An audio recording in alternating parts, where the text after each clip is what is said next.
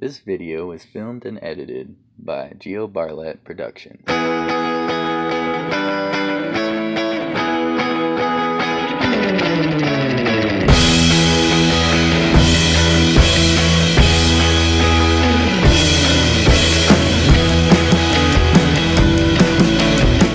What's up, everybody? Welcome back to Iron Tiger Tattoos. I'm Bryan Briggs, the owner, and today I'm going to be showing you another cover up tattoo. Cover ups are one of my favorite things to do because uh, it's just always really cool to be able to erase a piece of uh, like a garbage tattoo from the past or whatever that you don't want anymore and to be able to give you something that represents you a little bit more properly. So let me show you how I go about that. This is what I was thinking size wise, it's gonna take like two pieces, but something like that. I'm gonna come over here and size it up on you. Okay. Make sure.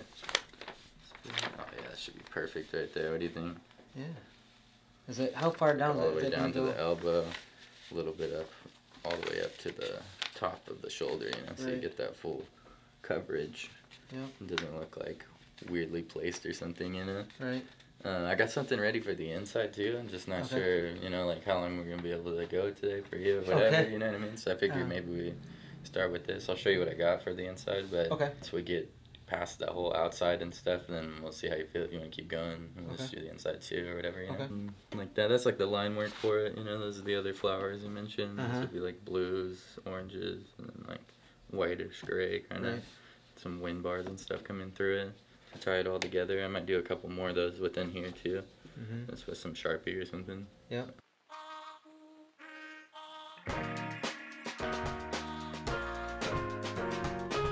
What age kids you teach wrestling? Uh, varsity high school. Oh, sick man. like the- That's pretty. That's pretty intense then sometimes, huh? yeah. Yep.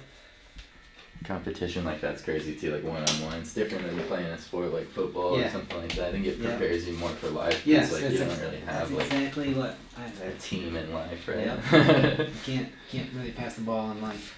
Yeah, exactly. You have to pay your bills. You have to pay them. Like I've never done the dragon head with the koi fish body, but Yep. it's usually one or the other. But that's like the story of the koi Right. fish. It's transferring Yep. into the dragon. It's kind of cool to be able to do one that's mid transition like that. Like it's like mm-hmm. cool, cool story. Yep. Japanese, they they know you know what tattooing's all about. you know like big tattoos are better Yeah. to flow with the body, to tell a story that's important to the person, you know. Like I try to keep all that stuff within my tattoos. Even if I'm not doing Japanese tattoo, I try to do a tattoo, every tattoo with like that stuff in mind, you know. Mhm. It's like even if it's like watercolor or something, all that stuff's still important. Mhm. Hey, let's have you stand up real quick and um, just, um, just kind of hang around down naturally. There you go. Just gonna lift this up a little bit.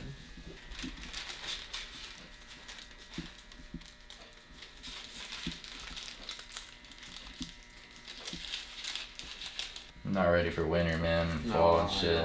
I I was just enjoying the summer. Barbecuing every weekend. Yep. Smoking meat. It's like my favorite thing now. It's how you know you're getting old and you enjoy like the simple things, I guess, huh? Yep. Oh yeah, it lined up perfect.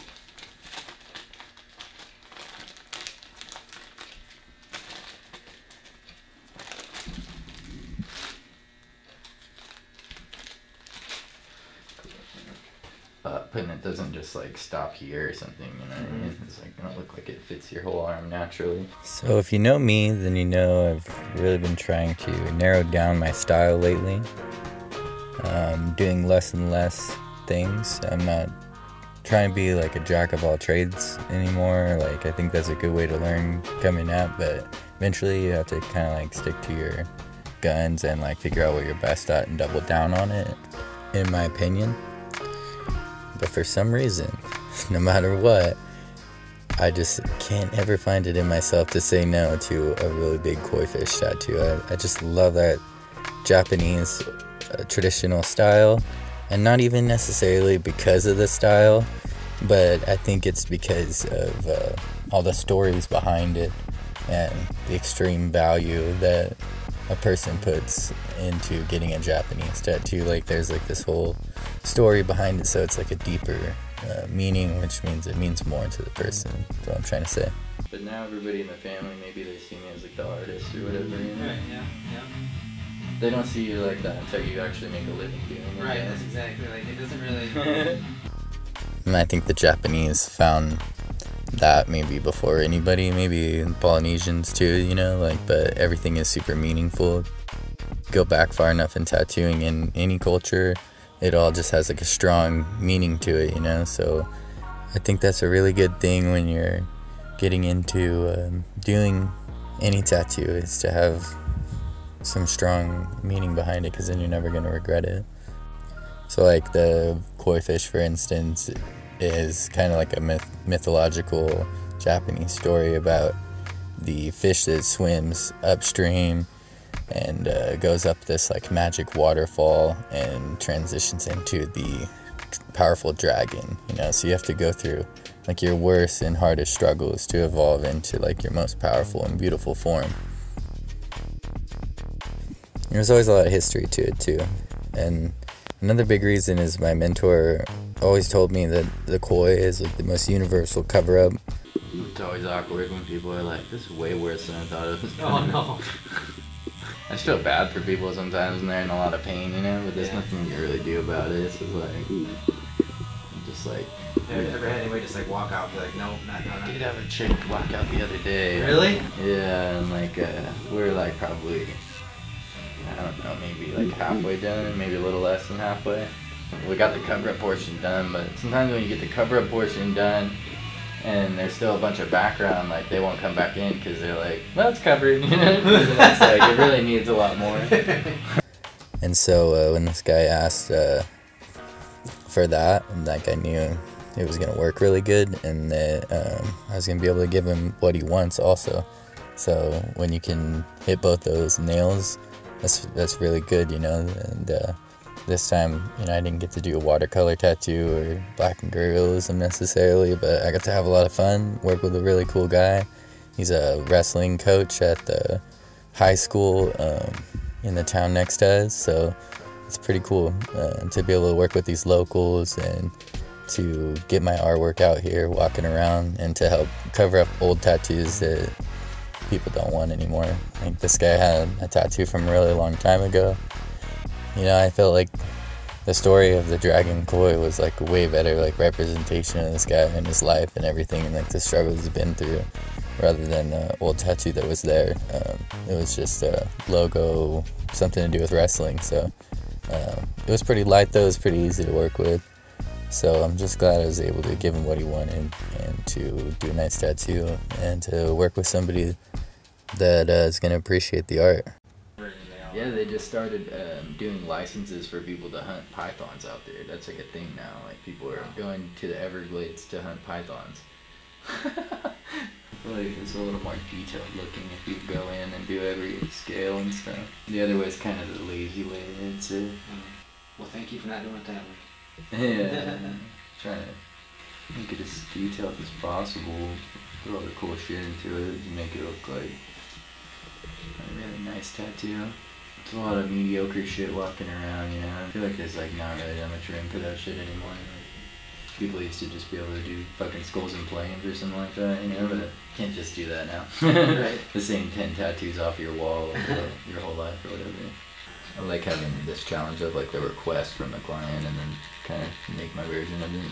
Mm-hmm. We had plans to wrap it all the way around the inside, but I usually only work a max of about six hours a day at most of actual tattooing time because it kind of like it's pretty exhausting at that point. Like for me and the client, like the skin's pretty beat up after that much tattooing so it's not gonna heal up as good, and um, I'm just kind of like my back hurts, and I'm just kind of like over it at that point. And you want me like at my 100% like concentration and like interest in it for sure, like to be able to be doing like the best quality possible. So uh, around that time frame is when we ended the tattoo, and I had outlined like the rest of it for the inside, and we're gonna do a couple more like flowers in there that uh, represent um, a couple more of the kids because that's what all the flowers represent is like different birth months for all the different kids that he has.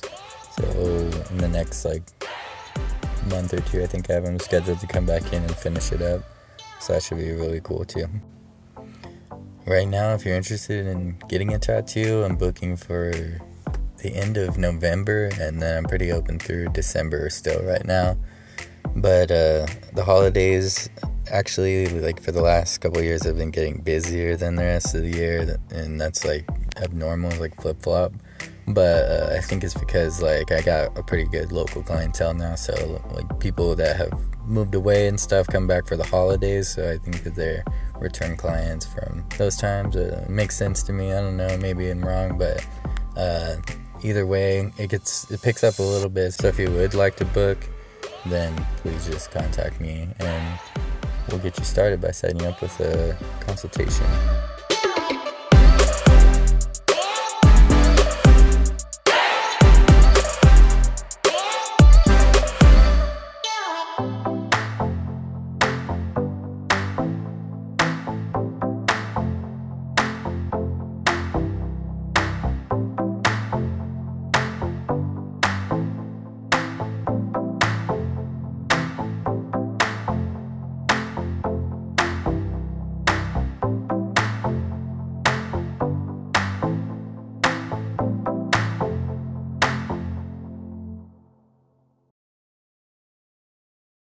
Alright guys, that's a wrap. Thank you again for joining us here at Iron Tiger Tattoos in Mount Pleasant, Michigan. If you're interested in your own cover-up tattoo, definitely contact me and we can get you started.